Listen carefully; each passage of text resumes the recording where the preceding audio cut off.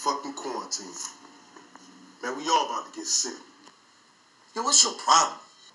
Flu my fucking problem. People out here sick in the streets and Trump acting like he give a fuck. You, I think you exaggerate. That's COVID shit. We run from chickenpox. We run from measles. We run from Ebola.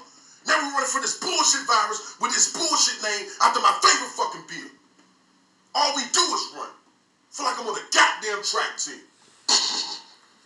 For this. So what now, Banknote? Nothing to say? It's because I'm right. In your heart, you know I'm right. Hey, yo, sick man. If you want a corona shot, you gotta earn it. You damn right.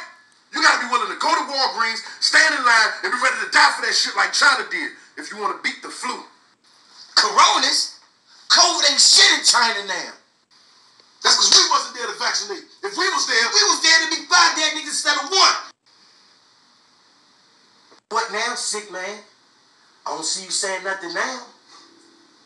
never thought I'd see the day you be riding around with tissues in your trunk. Man, fuck you. Yo, they got pills.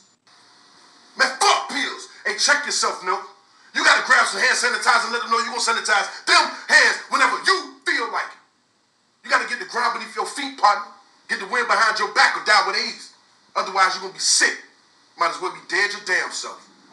You trying to tell me I'm sick, nigga? I ain't trying to tell you shit. I told Obama you sick. Hey, man. What, what we fighting for?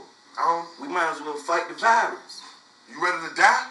Hell no. You Nah, I ain't ready to die. Quarantine. I got some food nerves.